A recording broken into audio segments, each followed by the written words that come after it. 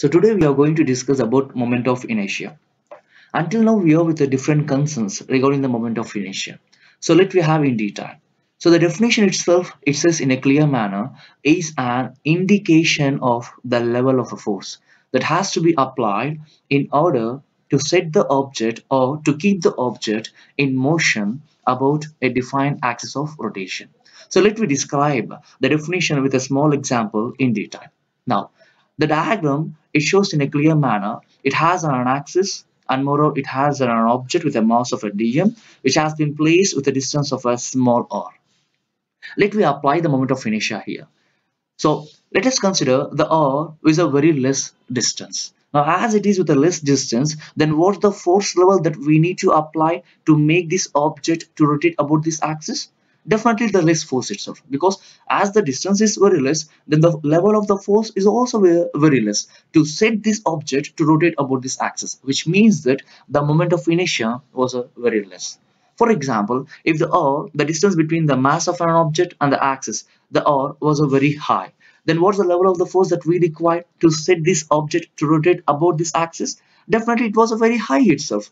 Because as the distance is very high then the level of the force is also should be high to make this object in the sense to set this object a motion about this prescribed axis. So the moment of inertia was uh, very high. So finally the moment of inertia says very clearly it's the, the level of a force to make the objects to rotate about a an axis. For example let, let me make in detail with this small example here so now if you observe, where this was a, a diver making of a somersaults.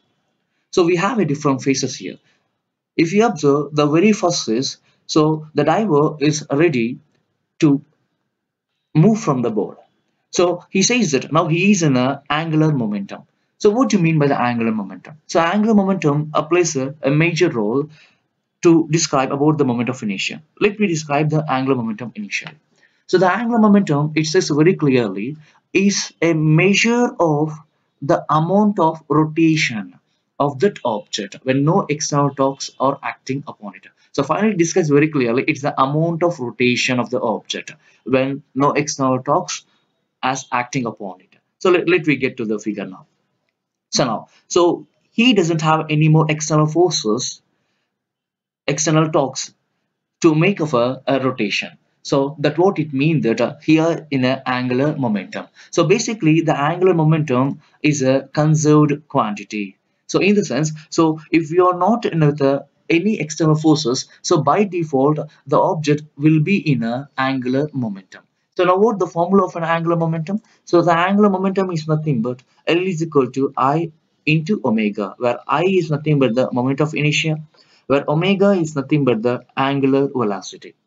So the angular momentum is a product of moment of inertia and the angular velocity. In the sense, it was a vice versa. If the moment of inertia increases, the angular velocity starts decreases. If the angular velocity increases, then the moment of inertia starts decreases, where these two is in a, a vice versa concern. So let me describe now with the help of an example. So now, in the first stage, when he ready to move from the board, so where he need to get in the pike position, well, we call this as a pike position. So if you observe the difference between these two figures, so in the first figure, the diver were the arms has been stretched away.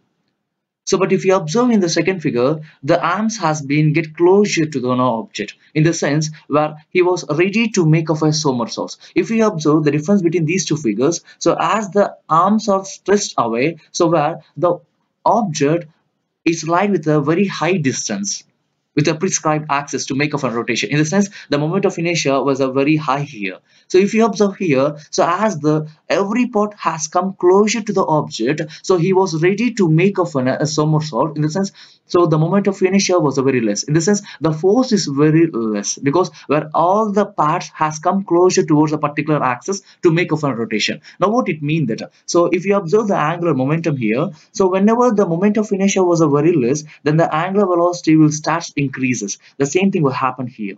So when the objects, when the parts of an object come closer, so the moment of inertia, the force was a very less. In the sense, he was ready to make of an somersault, which means that he can do as much the rotations because the angular velocity here was a very high. So after coming here, so if you get this particular third figure, again he was coming to the original position. He was getting back the arms towards the original position itself which means that again the moment of inertia it start increases so as the moment of inertia increases then definitely so the angular velocity will start decreases so that what the figure shows very clearly so this was a procedure what the divers do when he need to make of a somersaults.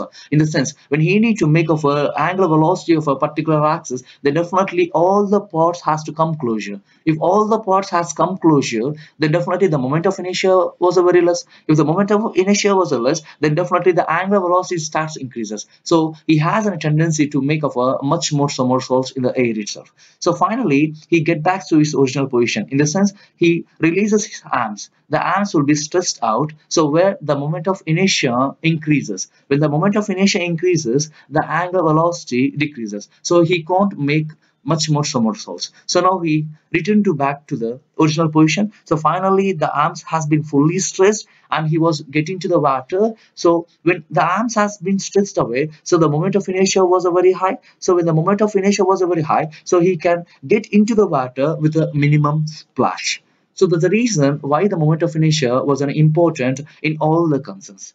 Thank you.